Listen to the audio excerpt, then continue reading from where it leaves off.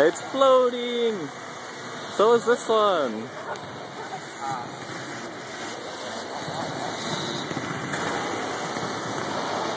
Gabe, what do you think of this project?